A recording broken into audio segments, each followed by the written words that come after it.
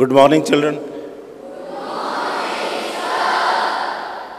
At the outset, uh, wish you a very happy Independence Day, the 72nd Independence Day of India.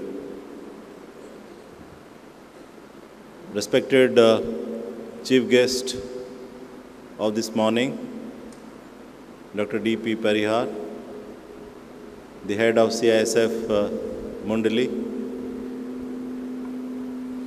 Amitav Agnihotri, the headmaster of uh, Scientist Residency School, Harish Sandhu, the di- director of uh, International Group, Deepak Somani, the director of uh, International Group, Rudra Panda, the deputy headmaster, all the faculty, staff, and my dear children. It gives me immense pleasure to be amongst you. When I enter the gates of uh, this institution, our institution, I always feel like uh, coming back to home. This gives a different type of vibration. And this vibration is because of all of you children. I see all the children maturing themselves and all the faculty really working hard to showcase our institution as one of the top institutions. You'll be all happy and uh, proud to know that our school was adjudged in the 12th World Education Summit at New Delhi as the emerging school of India. Children, you know the meaning of independence? What is the meaning of independence? So- sorry? Freedom. So, what is the meaning of freedom? The meaning of freedom is to be free. Free from what? Free from? Free from what? Free from everything. Free from life. Free from food. Free from studies. Then free from what? Free from all negative things. On this Independence Day, let's take a pledge that we'll be free from all the bad things. The bad elements should not come into us.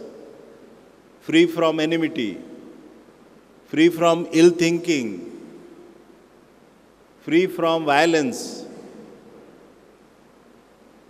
free from poverty, free from all those things which can affect or impact us in our life. And that's true independence.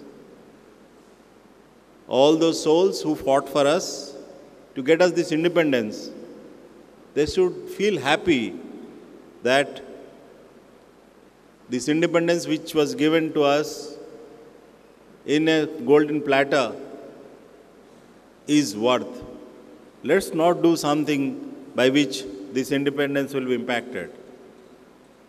But how does this happen? What you can do as a child?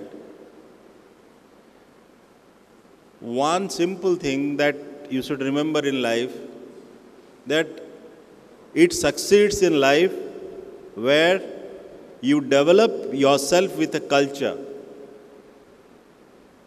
What is culture? The culture is your behavior, your, your approach, and how you look at things. If culturally you are sound and strong, everything else will follow. You'll be good at academics, you'll be good at sports, you'll be good at everything because culturally you are strong. Your foundation is strong, and that's the thing that you learn in a school. Today I am able to speak to you, stand here, because of the cultural foundation that was given to me in my school.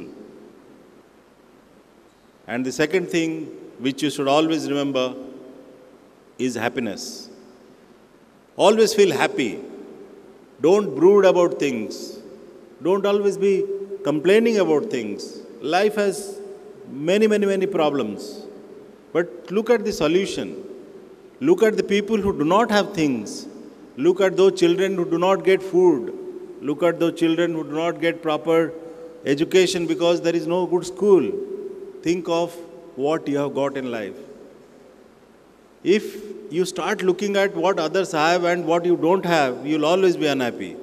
If you look what others don't have and still you have, you'll always feel happy. And once happiness comes into you, everything else will follow. So remember these two things in life. We have to build a culture. Sai International School is today known in the country because of the culture that we have developed in Sai International School. We work very hard. I work every day 13 to 14 hours. That's because the culture that we want to develop is hard work. The culture we have to develop is nothing comes easy. The culture we have to develop is humility. That's why I always tell that we need to touch the feet of elders, our parents, because that will build a foundation of our culture. I will, uh, the other day I was telling a small story to all the children of SIS. I'll tell that story and end today. And it's very important message. Please listen to this very, very carefully. There was a painter, and this painter used to go to the market every day and sell his painting. He was very good painter. Like we have our painter. In our school, who is our painter in our school? Namita ma'am. Okay. So somebody like Namita ma'am. But this painter was a boy. So this man, you know, this painter used to go to the market every day and sell his painting for 500 rupees. Every day he used to go to the market and sell his painting for 500 rupees.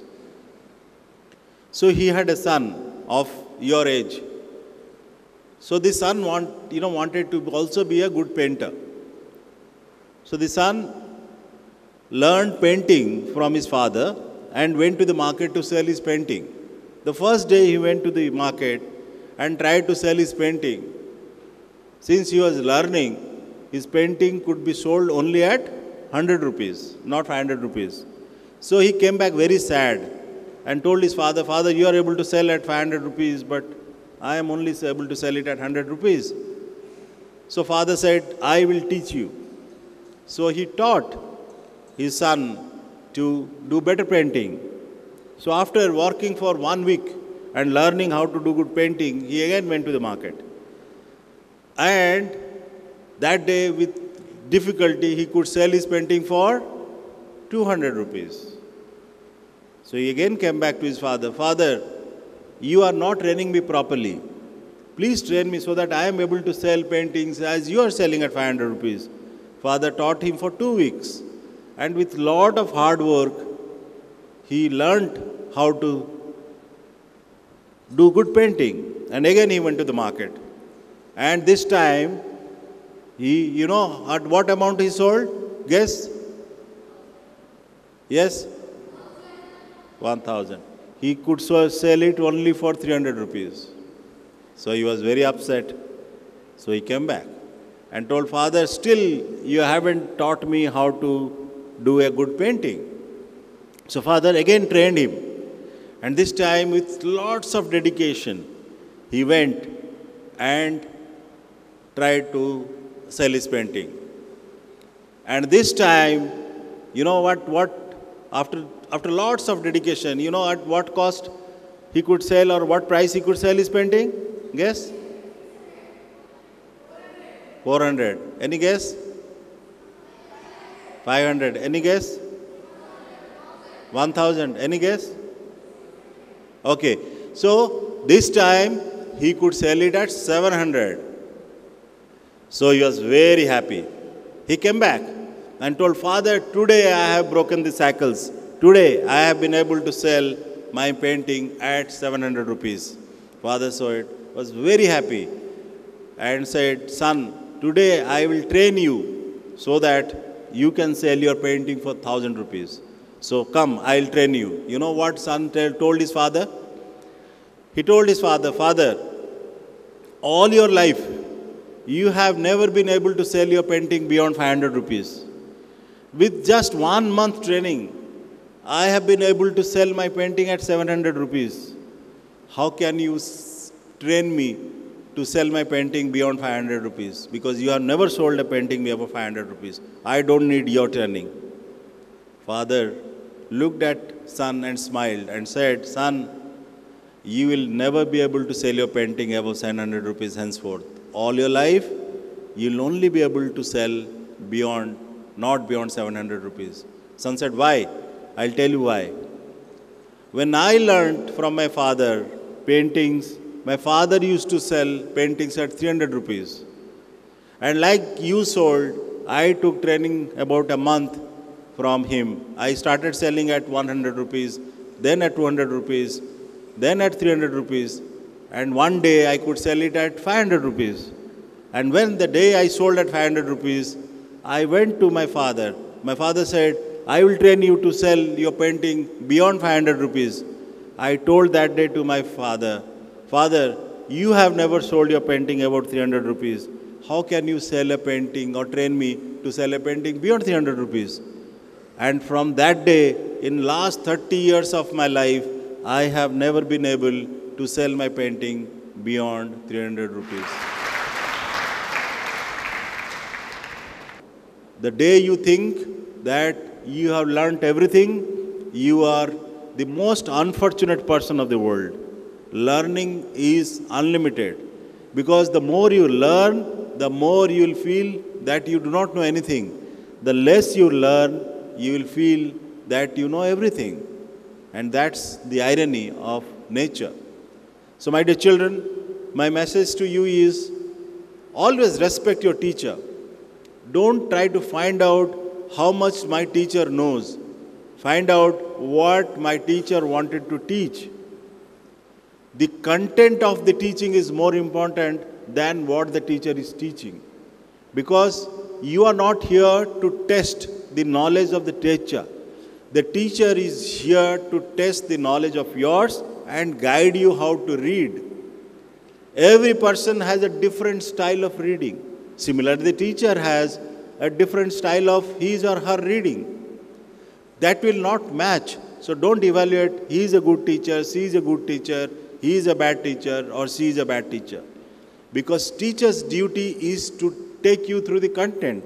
Teacher is not here to, for you to test the teacher. And once this testing of the teacher comes into you, you will be like the painter. Will never be able to secure good marks or never be able to learn because you have created an artificial block within yourself and the teacher. Because you have made up your mind the teacher doesn't know how to teach, so nothing will go into you. The moment you'll think that what the teacher is giving or the teacher is teaching is something which I should learn and go back and refer books and learn more. So you'll find it's very interesting. So, my dear children, again, I wish you all a very, very, very happy Independence Day.